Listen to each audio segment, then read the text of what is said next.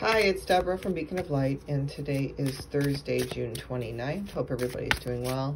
Let's see what today's energy is all about. Um, just a quick note, we new, um, Neptune is going retrograde tomorrow, Friday, June 30th.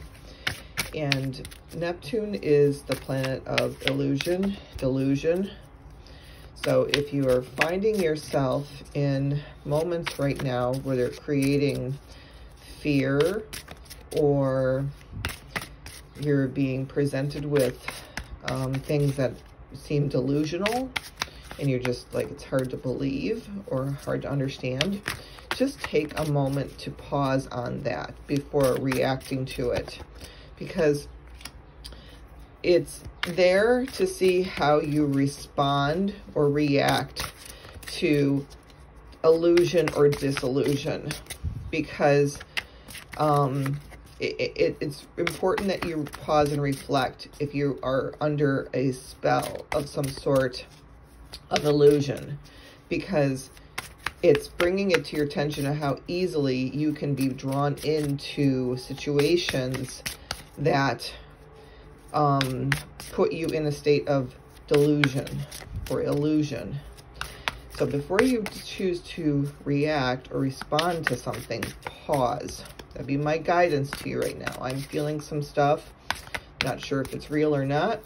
And so my best, and I'm taking the steps to to reflect upon that time frame or that that situation so that I can better understand what's going on. So if I can pass that information on to you, don't react, don't respond, pause and allow your allow the energies to move through you and past this moment to bring you clarity before you react to something okay? Words of wisdom higher knowledge. All right let's see what today's energy is going to be about. Judgment in reverse. It says angel of the past ace of cups reverse and the eight of wands upright um, so this angel of, this is angel of the past, judgment. We can free ourselves from, and I kind of was talking about illusion. We can free ourselves from illusion. Um, we can free ourselves from the past, the influences from the past. It's in reverse because the only true way you can release yourself is by truly going in and being in this now moment, creating your own cup of love, creating that love for yourself, whatever was going, whatever had has is in the past, it's in the past. It's hard to move past that moment, but it, you need to. And when you do, you're doing a lot of self-love. They're in reverse right now because it is a time of deeper learning, deeper understanding about what it is you are letting go of and what you're moving into. And sometimes that can be a little sketch. You know, you don't know just what you're going into just yet. And this is where the Eight of Wands comes in. And says journey here. But I see the Eight of Wands as a communication card. It's incoming communication. It's also incoming clarity. And I kind of said that before when I was speaking about the current energies of Neptune going into retrograde. And it's in Pisces. So Pisces is also it's a watery sign, but it's also a very spiritual sign. It's very, you know, it, it brings heaven and earth together.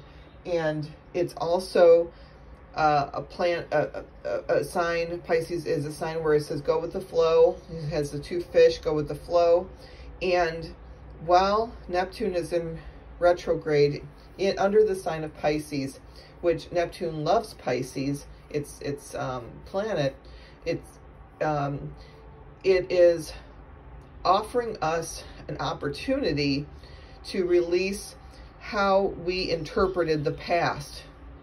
It's it's bringing up some things that maybe we didn't see a, a certain way once before, but it's giving us another opportunity to see them now so that clarity can come in about what the truth uh, is in the situation, offering you a little bit more self-love, offering you a little bit more forgiveness, offering you a little bit more of uh, back to yourself so you don't give so much away. You're, you're becoming more whole with this cup of love, this cup for yourself. So it's offering you something to make you more complete, something to complete the cycle, complete the cycle of the past to make you more complete in yourself. So this journey that you're on, this life journey, um, has these cycles to offer you more of who you truly are so you can turn things around for your life. So you can turn things around for yourself. Usually it's what I see when when there's cards are reversed, we're turning things around. We're, we have an opportunity to turn things around to fill our own of love, to be in our own truth. So this time is, is you know, it, it can be, like I said, a little sketch. So you just need to pause is the biggest thing I want to say right now. And the divine direction says home. It's time to renovate or change something in your home environment or move home. So, um, home is yourself. And I kind of said bringing clarity to your to oneself. You are home. And home is what feels, you know, what feels good to you, where you want to place your roots at and what it is you want to do.